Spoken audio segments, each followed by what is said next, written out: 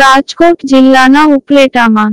દાઉ તે વાવાઝોડાના કારણે બાગાયતી ખેતીમાં ભારે નુકસાન થયું હતું. પુષ્કળ પ્રમાણમાં નુકસાન થવાને કારણે ખેડૂતો મૂંઝવણમાં મુકાયા હતા. સરકાર દ્વારા સર્વે હાથ ધરીને સહાય ચૂકવવા માટેની જાહેરાત કરવામાં આવી હતી પરંતુ દાઉ તે વાવાઝોડાને એક મહિના જેટલો સમય વીતી ગયો હજુ સુધી બાગાયતી ખેતી કરતા ખેડૂતો સહાયથી વંચિત છે.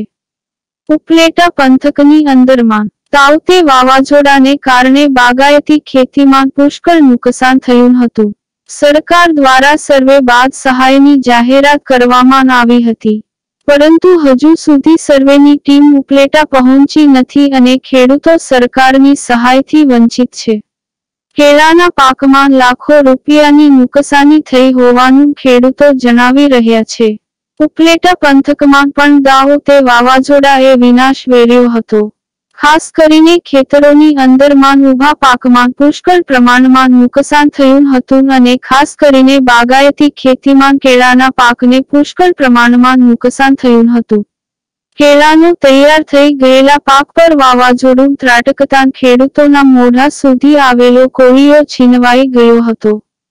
ખેડૂતોએ ગત વર્ષ લોકડાઉનના કારણે ટ્રાન્સપોર્ટ બંધ હોવાને કારણે બહાર ગામથી કોઈ વેપારીઓ કેળા ખરીદવા આવ્યા નહીં, જેથી માલ ગોડાઉનમાં પડ્યો રહ્યો હતો અને ભારે આર્થિક નુકસાન સહન કરવું પડ્યું હતું. ઉપલેટા પંથકના ખેડૂતોની જાણે માઠી બેઠી હોય તેવું લાગી રહ્યું છે. ક્યારેક કમોસમી વરસાદ તો ક્યારેક અતિવૃષ્ટિ તો ક્યારેક લોકડાઉન અને અંતમાં દાવો તે વાવાઝોડાના કારણે થયેલ ભારે નુકસાનથી ખેડૂતોની કમર તૂટી ગઈ છે. ઉપલેટા પંથકના ખેડૂતો એક બાદ એક આફતોનો સામનો કરતા આવ્યા છે.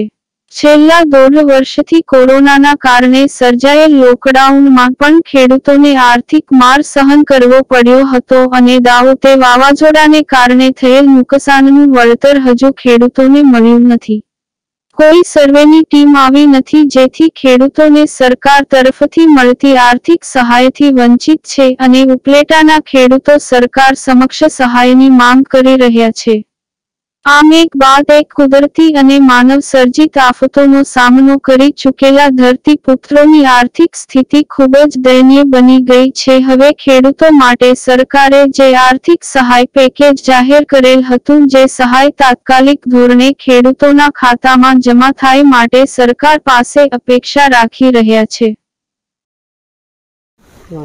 અશોકભાઈ રબારી, ગામ ઉપલેટા પાદર કાંઠે અટાણા કેળનું પાકમાં નુકસાન છે.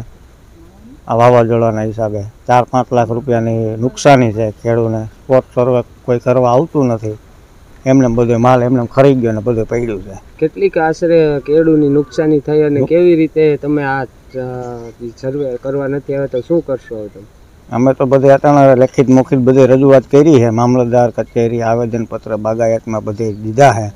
હજી કોઈ આવ્યું નથી. ચાર પાંચ લાખ રૂપિયાની નુકસાની છે. વહેલી તકે સરકારશ્રીને અપેક્ષા છે કે એ લોકો અમને આપે કાંઈક અને તો આ વહેલી તકે પાક ઊભો થાય પાછો. નવું વાવેતર. મારું નામ કરશનભાઈ રબારિયા, ઉપલેટા વિસ્તારના ખેડૂત સૌ. અને આ જમીન મારી પણ મારી જ છે. અને આ આની અંદરમાં તોકીદે વાવાઝોડે જે તબાહી મચાવી હતી, એના હિસાબે લગભગ ચારથી પાંચ લાખ રૂપિયાની નુકસાની આવી છે. હવે અહીંયા એક મહિનો થયા છતાં કોઈ સર્વે કરવા આવ્યું નથી. અમે મામલતદારશ્રીને અને ગમે ને બધા કચેરી કચેરીઓમાં આવેદનપત્ર આપી દીધા છે.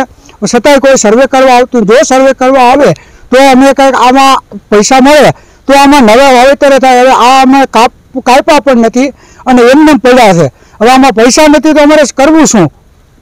હવે હાલ શું તમારી સરકાર પાસે? હાલ અમારી સરકાર પાસે માંગણી છે કે વહેલી તકે સર્વે કરાવે અને આનું વળતર અમને આપે.